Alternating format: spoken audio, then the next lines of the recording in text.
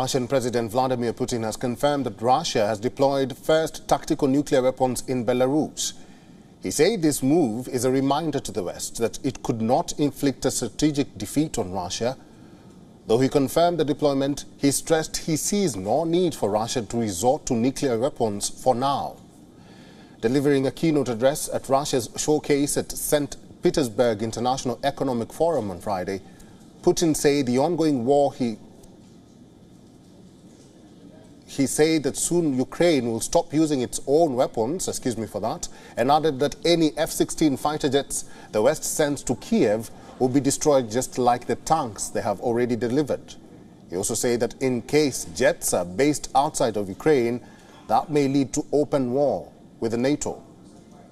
Meanwhile, Ukrainian President Zelensky met with a group of African leaders and officials from seven countries on Friday who visited Kiev as part of a mission aimed at brokering peace between Russia and Ukraine.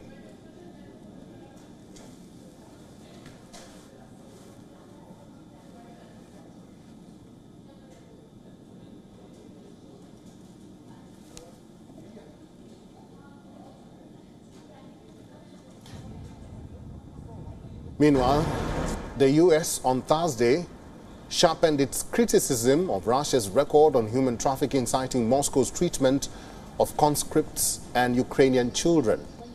As the State Department released its annual trafficking in persons report, the report kept Russia on a list of state sponsors of human trafficking and ranked Russia among the world's worst at addressing the problem.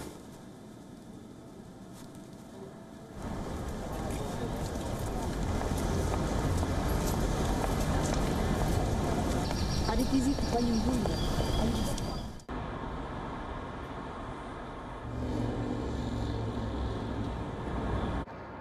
WION is now available in your country. Download the app now and get all the news on the move.